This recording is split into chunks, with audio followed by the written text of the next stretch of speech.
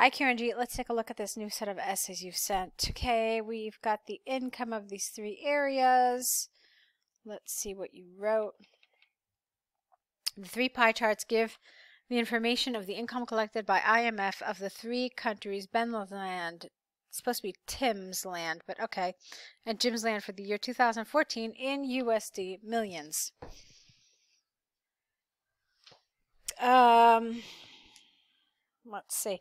Do you know what seems this is a little strange. Collected by IMF.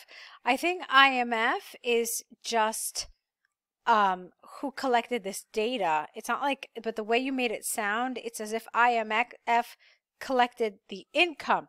So you have to be careful about these. So let's try it a little differently. The three pie charts give the information um, collected by IMF of the income of three countries. Um, or you could change this around even more. You could say uh, the three pie charts give the information of um, the income of Ben's land, Tim's land, and Jim's land. In 2014, uh, based on data from IMF or something like that. There were a ton of ways you could have done this. All right, overall can be observed that the total income of Jim's land is more than that of Ben's land and Tim's land. You keep writing Trin's land, but that's wrong. Okay, let's see. Okay, that is accurate. I think you could have maybe added one more piece of information here. You could have also said that uh, in the three countries, uh, the distribution of income, or rather the industries that contributed to the income, uh, varied considerably. Okay, because you can see here in each country it's different. So this is the highest here, this is the highest here, this is the highest here. So you could have said something about that. You didn't need to, but you could have. Okay, ah, here's where you said it, but it's part of your detailed paragraph. Let's see what you said. In all the three countries, major sources of income are from different sectors. But okay, that's not a sentence. You got to be careful. You have to say in Ben's land, 45,000, and then you have to say USD millions. You have to add that. Uh, was from agriculture. And then the same thing here in Tim's land, $75,000 million was from heavy industry, etc., etc. Okay, the same thing. Although the biggest sources of their income are different, natural resources is the least contributor for the income of all the three countries. You don't need to say the countries again. We already know what they are. Uh, I see why. Okay, fine. With 3,000, don't forget to add the million, okay? 3,000 million, 400,000 million, uh, I'm sorry, 4,000 million and 7,000 million, respectively. All right, I understand why you did that. So let's see.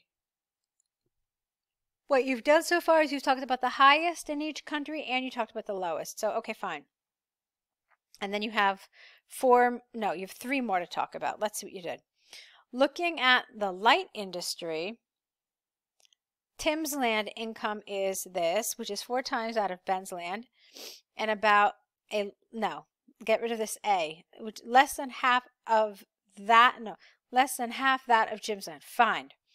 The earnings from service sector, the service sector, of Tim's land are 40,000, comma, twice as many, uh, twice as many as Ben's Land's services. Uh, that's a little strange. Twice as many as that of Ben's Land. Just sounds a lot better.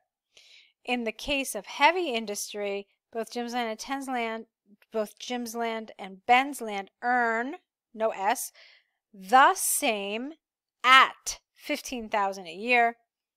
Uh, agricultural income of Jim's Land is almost half that of Tim's Land. Get rid of this than with okay that's fine.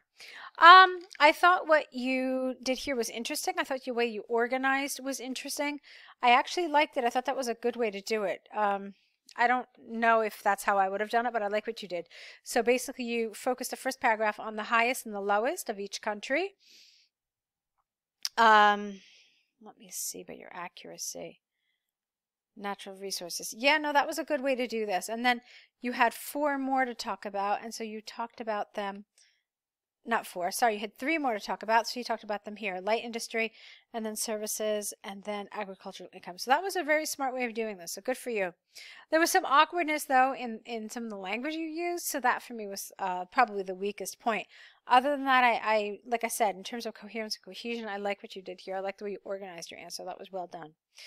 Um, yeah, it's a pretty good answer. You just have to be a little careful with some of your grammar. Uh, like I said, that was the weakest area for me. Uh, all right, so let's take a look at this task two now. All right, so let's take a look at your task two now. Do you think it's better for students to work before the university study? Here is what you said. The issue of work before entering university leads many deba debates among experts and educators. Uh, can you say that? That something leads debates?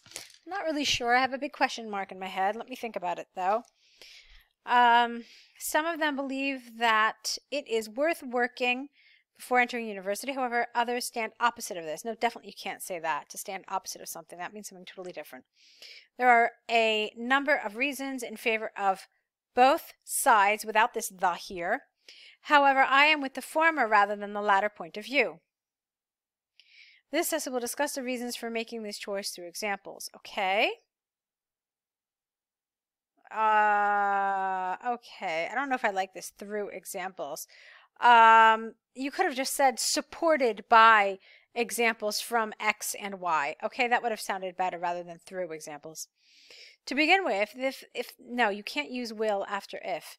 So, to begin with, if the students start working before the university, it will provide them a sense of responsibility, independence, and experience. This is because they will understand the value of earning and a sense of responsibility about managing their expenses. Moreover, Hold on. Okay. Uh, moreover, they can make independent choices to opt. No, they can make independent choices uh, regarding the field they. I don't like this word adore either. The field they choose. For instance, doing a job, a job for further education will allow them to take the best decision and will help them know the areas, no comma, they are interested in. Due to the liked choices, the productivity in the sector they choose, no comma here, is most likely to increase. Okay, um, this paragraph um, needed a few things for me, okay? Um, for example, you said that it will sup uh, supply, it will provide them a sense of responsibility, independence, and experience. My question is, why? All right, you say they will understand the value of earning and a sense of responsibility about managing their expenses. Yeah, okay, but still, why? I mean, why do they have to do this before university? Why can't they do this maybe along with university? Or why can't they do this after university? So you're trying to make the point um, as to why people should study before university. Because then the other argument is, well, doesn't university study also help people develop a sense of responsibility, independence, and experience? So I felt like your argument here was really rather weak. All right, it wasn't particularly convincing. Now I know that sometimes people say that IELTS is an um, is an exam, it's a language exam, and it's not an idea exam. But that's not entirely true. You do have to convince the examiner um, about your argument. Otherwise, it sounds like maybe you're just saying what you're saying because of some sort of limitation with your language skills. And you don't want the examiner to think that. Okay? So, um, now here I felt like this absolutely needed some development. You say they can make independent choices and uh, doing the job will help them take the best decision. So I think you absolutely needed some more development here. I think you needed some solid examples and to explain to us what it is you're talking about. So here you need to give us an example like, I don't know, say for example, maybe somebody's doing a job in graphic design before they go to university. Well, then they can pursue this uh, field in university.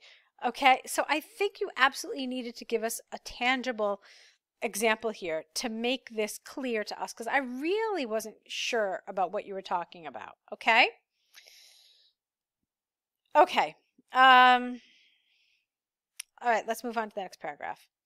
Additionally, it is a good opportunity to support further education. The opportunity of doing work can give, careful, can give them enough time to manage their expenses, especially, this doesn't make sense, whose, especially students whose parents cannot support their education.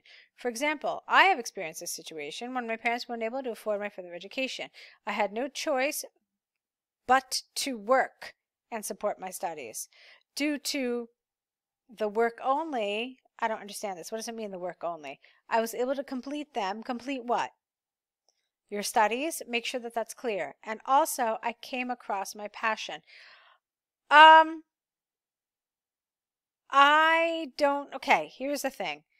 I'm glad that you used a personal example, but I feel like a lot of this is a repeat of what you said before. And um, I think that now you're kind of losing it in terms of the coherence and cohesion because you're putting things in the wrong place. Let me tell you what I mean. You said this thing earlier about they will know the area they're interested in, and then uh, that's what you said up here, right? Well, that seems to make sense to this idea about coming across your passion. So that you needed to rearrange these two paragraphs. Um, I felt like some of the stuff you were saying, like here, they learn to manage their expenses. You talked about that already. They give you said sense of responsibility, value of earnings, uh, managing their expenses. So it's really a repeat. It's so it feels like again you're just saying the same things, except here you're adding this example, this personal example. So you definitely needed to reorganize these two paragraphs. Okay? And you have to support the idea, you have to give this support here and put it after what you're actually describing. So you need to reorganize these. So to sum up, it is beneficial to let adolescents work before stepping into the universities, get rid of the, as it will provide them extra time to choose the best options, support their studies, and nurture their future. Our ultimate goal should be to help these students to choose the best as per their interests so that they will not give up in the future. All right, that's fine. So I think um, I've been pretty clear about what I thought the strengths and the weaknesses were. Like I said, you had some nice ideas, you had some good elements, but you kind of, you did lose it here. All right, you have to reorganize these um, in a more appropriate way. Uh, let me know if you have any questions about that, but go ahead and correct these and let's see more work from you, okay? Good luck.